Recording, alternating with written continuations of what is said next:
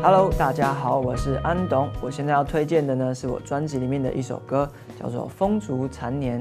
那这首歌呢，是写我奶奶心中的呐喊，然后有所有她想说的话，我自己揣摩她的心情去写的一首歌，呃，非常棒的一首歌，推荐给大家。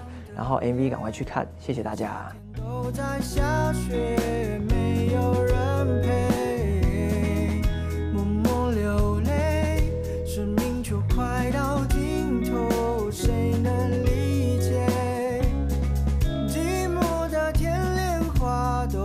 枯萎，还留下谁？